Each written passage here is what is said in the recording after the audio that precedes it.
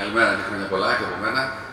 Ε, εμείς ε, έχουμε επιλέξει να είμαστε ένας ε, σύνδεσμος εξωστρεφής και ε, καθώς εκπροσωπούμε τους ιδιώτες επενδυτές, ε, οι οποίοι σχεδόν όλοι, όσοι έχουν απομείνει στην ε, κεφαλαγορά, μας ε, κατά καιρούς μας ε, συμβουλεύονται, τους βοηθάμε όσο μπορούμε.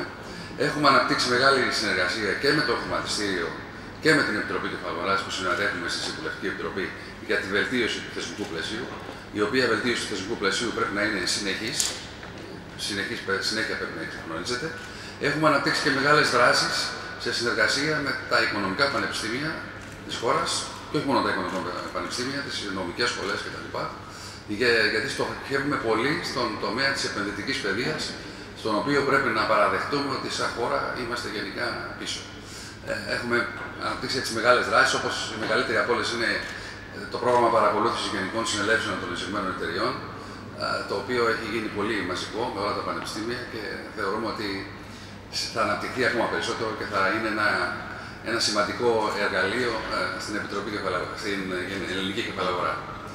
Ε, αυτά τα λίγα ήθελα να πω. Χρόνια πολλά, καλή χρονιά σε όλους και εύχομαι στο τέλος του χρόνου να είναι τα πράγματα καλύτερα γιατί όλα εξαρτώνται από τα δημοσιονομικά ε, βλέπω μια συγκρατημένη αισιοδοξία σε όλους τους φορείς. Ε, μακάρι να, να επιβεβαιωθεί αυτή η αισιοδοξία και να πάμε καλύτερα. Ευχαριστώ πολύ. Καλή χρονιά